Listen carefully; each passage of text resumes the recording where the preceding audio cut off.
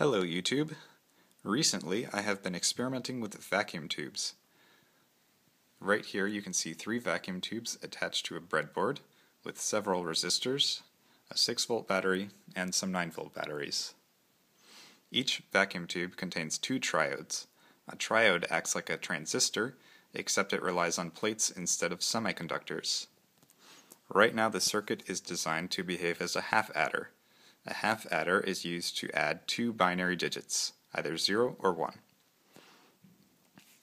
In this logic system, a 1 is represented by a voltage below 2 volts, and a 0 is represented by a voltage above 2 volts.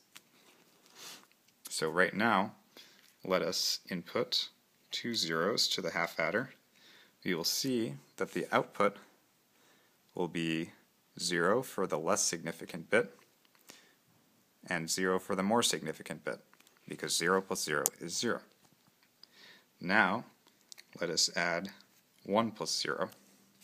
The output in the less significant bit is a 1, and in the more significant bit is a 0.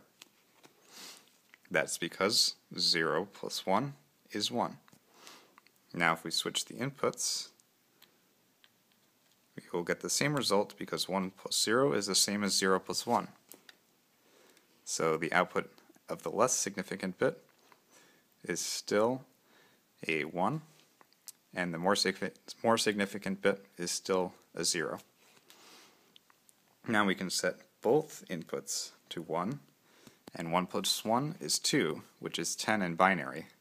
The less significant bit is a 0, and the more significant bit is a 1. That's all I have to show right now. Thanks for watching.